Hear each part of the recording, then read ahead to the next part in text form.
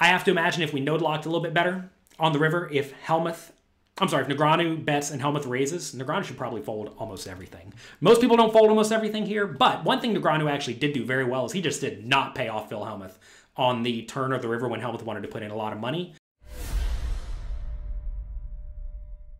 Hello everyone, I'm Jonathan Little for PokerCoaching.com, here today with another hand from High Stakes Duel 2, featuring Phil Hellmuth and Daniel Negreanu. They were battling it out to see who the greatest poker player in the world is, and um, want to spoil it for you? If you haven't seen it yet, pause the video. I'm about to spoil it. Phil Hellmuth won. He made an epic comeback. He got down to 1 20th of the chips in play. That's not a whole lot. And he ended up coming back and winning. They're going to be looking at a pretty cool hand where Hellmuth almost certainly goes far off from the GTO strategy and he limps with the 9-6 suited preflop. Now, I want to make it perfectly clear. There is nothing wrong with limping with the 9-6 suited preflop from a GTO point of view. Here is a 15 big blind preflop I'm sorry, 50 big blind preflop chart. Notice the players are playing 50 or so big blinds deep. And this strategy here has the hands in red, raising, and light red also raising, two different raise sizes. The hands in green are limping, and the hands in blue are folding. Notice almost no folding pre-flop. A pretty good amount of limping, mostly with the very weak hands, and these hands kind of in the middle that are suited or kind of connected that flop pretty well, plus a smattering of good hands. And then the hands that are raising are typically the very best hands, right? You have the good big cards, the aces, plus uh, the low suited hands that are pretty weak, like 9-4 suited, 8-2 suited, etc. Plus some random low card kind of junky hands like King 6 offsuit, King Jack, uh, Jack 6 offsuit, 7-5 offsuit, etc. We want to focus on this 9-6 suited though. And now notice that this 9-6 suited does limp a pretty large chunk of the time. And when you do limp with 9-6 suited, you are definitely going to call against a raise, which is what happens. Hellmuth limps, Negreanu raises to three big blinds, Hellmuth calls. Now, what I'm going to show you here is probably not the correct chart to begin with, because who knows what Hellmuth is actually doing. But this is an adjusted preflop strategy we're going to use to analyze how you should play postflop against someone who uses this strategy. Now, the way you read this here is all the hands in gray are folding, the hands in yellow are limping and then calling a raise. Um, the number one here means that when you limp this hand, you're calling a raise with it 100% of the time. Um, and then as the number gets lower, it means you're either limp re-raising or limp folding. Like, for example, ace jack suited, maybe he limp re-raises it a decent amount of the time. He's probably never limp folding it. Um, that said, you may be surprised to know that Hellmuth will limp and fold some pretty good hands. He's limped and folded king jack offsuit. He's limped and folded king 10 offsuit. He's limped and folded 9 8 offsuit. I've watched him make all these plays, and he does some very sporadic stuff. You'll also notice I don't have any like tiny fractions of these very weak hands in this range. Again, you could spend more time trying to really, really nail down these ranges and give him the king seven offsuit 10% of the time or something. You can do that. It's really not going to change the post flop simulation all that much because now we're talking about adding very, very few combinations to the actual range. But, you know, you could do that if you want. And to be fair, these ranges may not be accurate, right? I mean, maybe he's limping wider than this. Maybe he's tighter than this. From what I could tell when he did limp and faced aggression, he was pretty tight. So we're going to start with this. And, you know, if you think this is completely wrong, let me know in the comment section and um, it'll be okay. All right. Flop's going to come. King, Queen, 10. This is normally a very good flop for Negreanu because he's usually going to be raising with a lot of his best hands plus a smattering of low blocker type hands like King X, Queen X, Jack X, 10X, which actually connect pretty well with this board.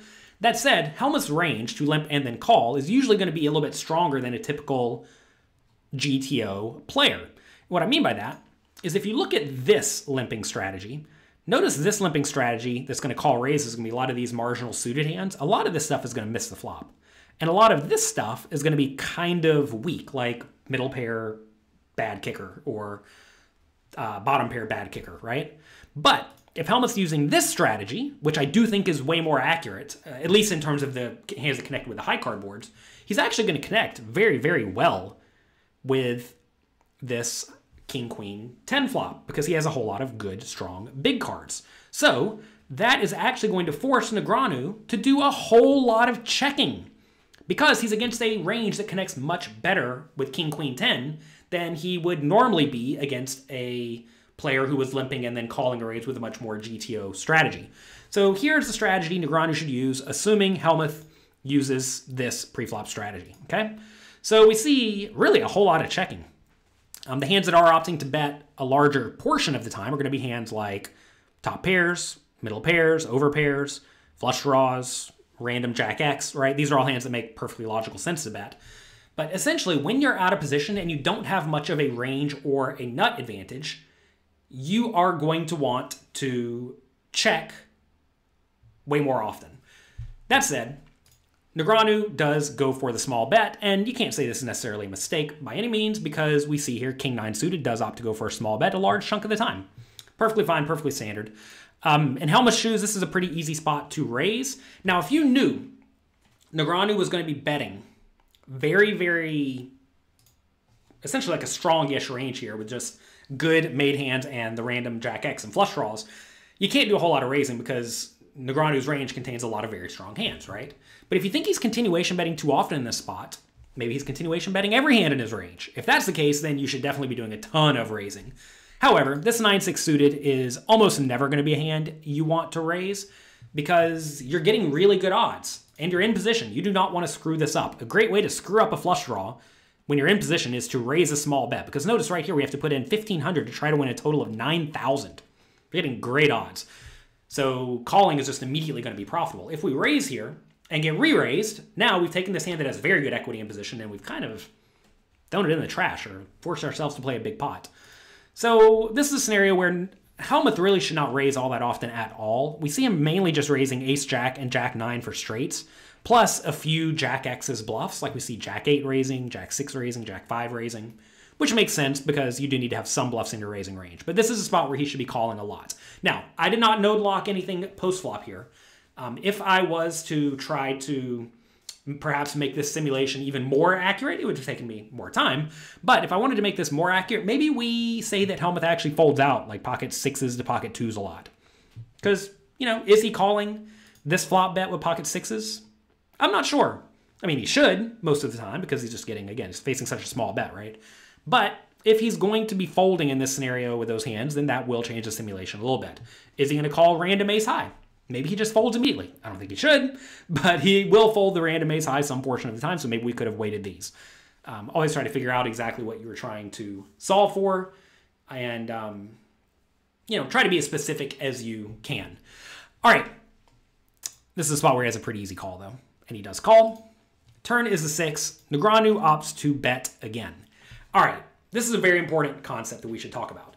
When you bet the flop infrequently with just your good hands and some draws, you're essentially already polarized, right? And when you're polarized, you have really good hands and draws, which means your equity is usually pretty good against your opponent. And when that is the case, you often want to continue betting on the turn using somewhere between like a medium and a large bet size. However, if you bet with everything on the flop or bet with a very wide range on the flop, your range to get to the turn is super wide, but your opponent's range to call your bet no longer contains a lot of the junk, right? So that's going to make their range stronger. So this is a scenario where if Negreanu is betting the flop infrequently, he should definitely keep betting this hand on the turn. But if he's betting very frequently on the flop, then I'm not going to say king 9 is a check, but I could definitely see a hand like queen 9 being a check. So let's take a look at this scenario. This is going to presume, again, Negreanu bet the flop very infrequently using this strategy here, right? Very infrequent flop bet is going to lead to a very frequent turn bet.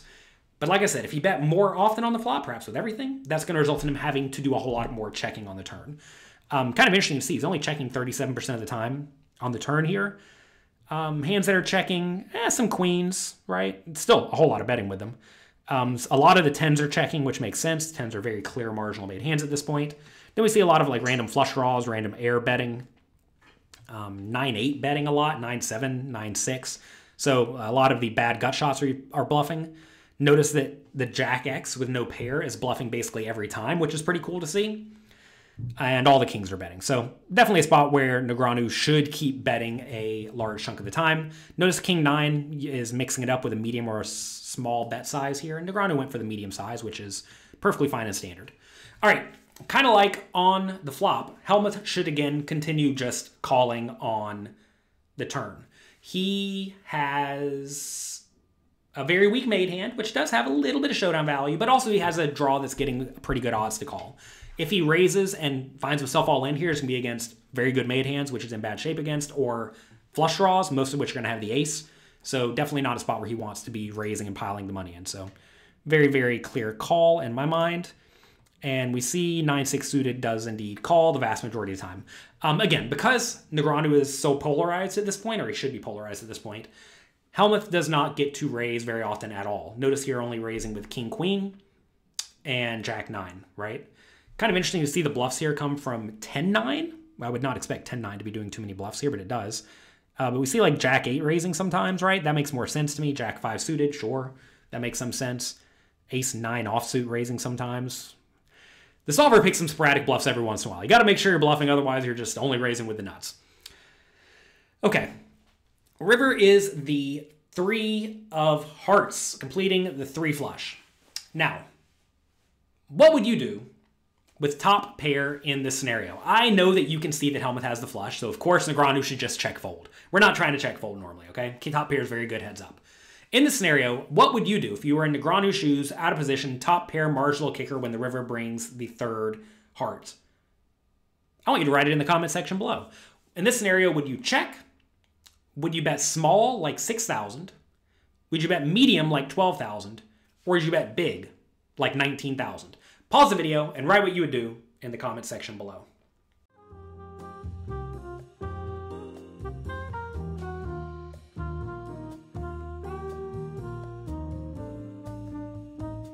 All right, did you do it? I sure hope so. Going through this active learning process is going to go a long way to helping you improve your poker skills. And if you want to continue testing your skills and improving your skills, make sure you check out my training site, pokercoaching.com. You can actually get a free trial membership at pokercoaching.com slash free. So head over there and check that out right now.